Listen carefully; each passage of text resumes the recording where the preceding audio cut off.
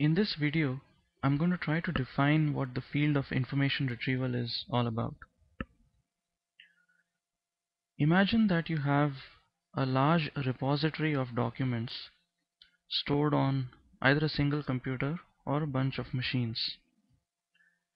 This large repository or body of documents is technically called a corpus. Now suppose that there is a topic about which I desire to get some information. So I'm going to call it my information need. This is the information that I need. And among these documents in the corpus, some of the documents may contain the information that I need. These documents are relevant to me. Why? Because they satisfy my information need. And those are the documents that I'm interested in. But how do I retrieve those documents? I'm going to express my information need in the form of a query and submit that query to these computers which hopefully have some kind of a system that will take my query and return the documents that are relevant to my information need. Now how the query is expressed and the ability of the system to answer my query by returning the relevant information is going to depend on whether the data in the document corpus is structured or unstructured. So let's try to understand what these two terms mean structured data and unstructured data. Structured data tends to refer to information in the form of tables. For example, here is a table of employee records. You can see that there are three columns in this table and each column has a name, employee, manager and salary. And each row of this table corresponds to one employee record with these three fields or attributes. Now if you've done a course on database systems you know that the technical name for such tables is relations.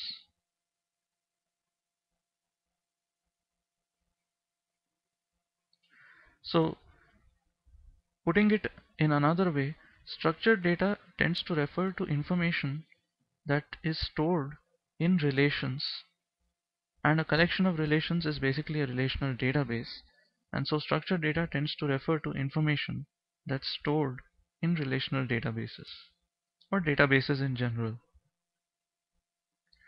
The important point is that this data is explicitly structured in such a way that we know what each of these fields is. We know for example that the salary field is going to be an integer. We know that the manager field is going to be a string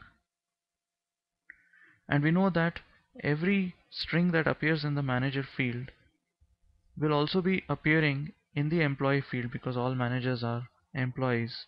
Of course I've shown only three employee records here but this table will in general be very large. And the employee field itself is going to have uh, strings that basically are employee names. So we know what the type of each field is. We will also know what are the what what what is the range of values that are allowed or disallowed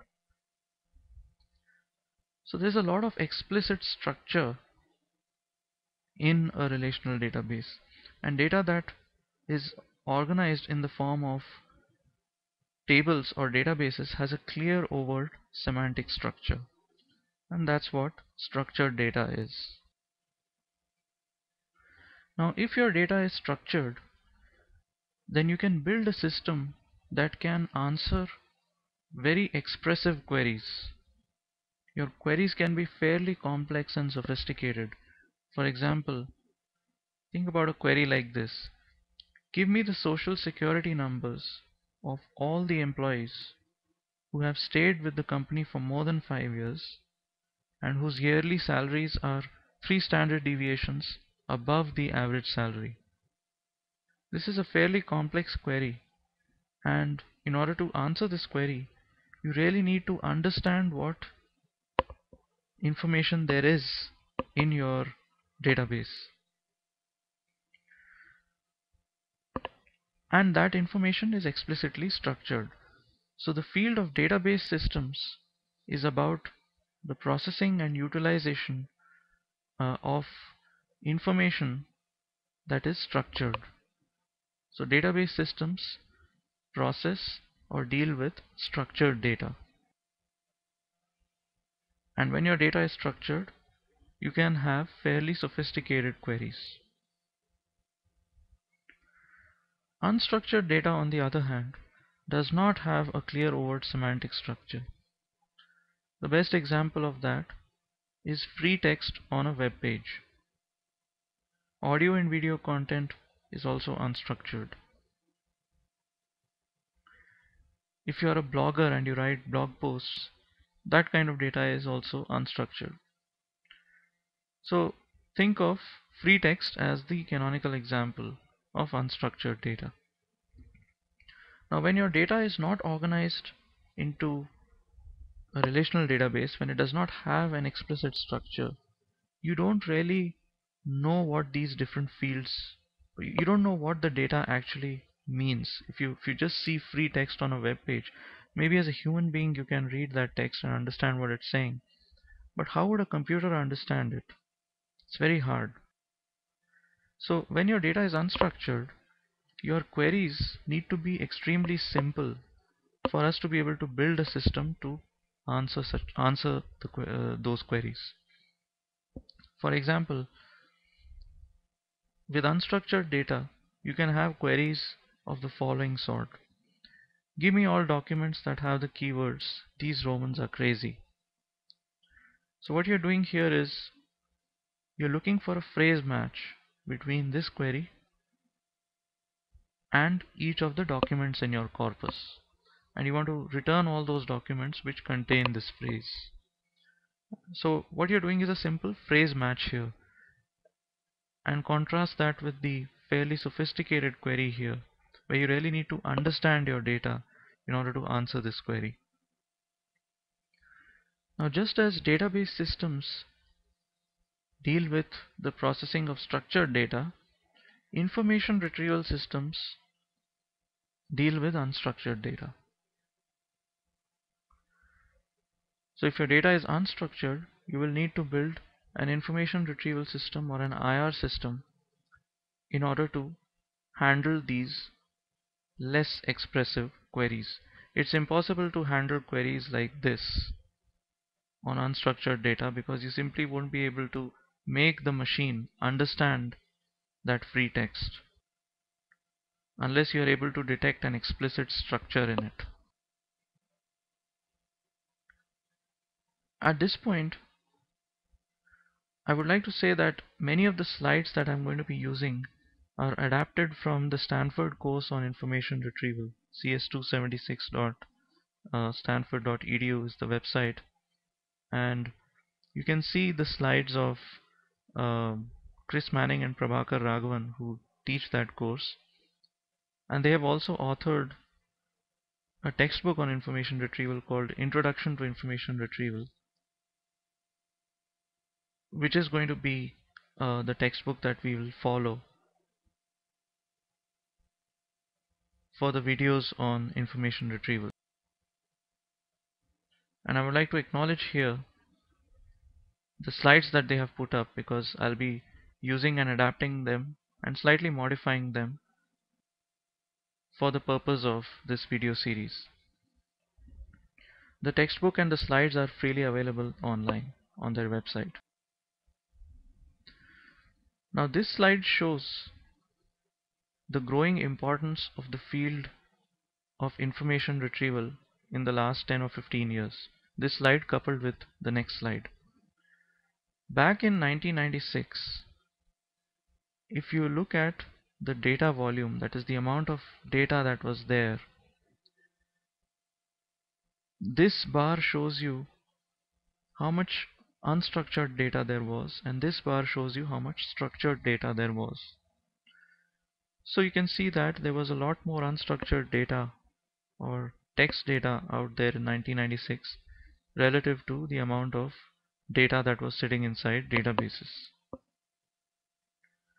But if you look at the market cap of companies dealing with the processing of that data, you can see that there were there were hardly any companies making money out of processing unstructured data. There were companies like Oracle, Sybase and so on which were generating a lot of revenue from their database systems which processed this structured data. There was a lot more money in databases than in the processing of unstructured data.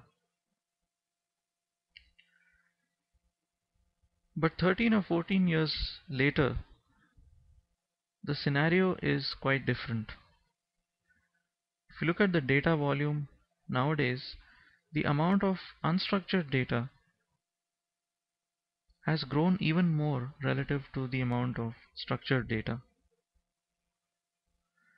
But this time, if you look at the market cap of companies that are processing unstructured data, companies like uh, Google, Yahoo, Microsoft, Ask, and so on, you can see that there is a huge amount of uh, money being made by processing unstructured data more than the amount of money that people are making out of structured data. So this indicates the growing importance of the field of information retrieval in the industry in the last 10 to 15 years. Now in reality, no data is perfectly unstructured or literally unstructured. In reality, there is always some kind of structure to even free text. So information retrieval systems really deal not with completely unstructured data, but there is always some structure to the data which the IR system is going to exploit. For example, even if you look at this slide, which is written in a, in a very uh, informal language, this slide still has some structure. It has distinctly identified zones such as this title field over here and the bullet points over here.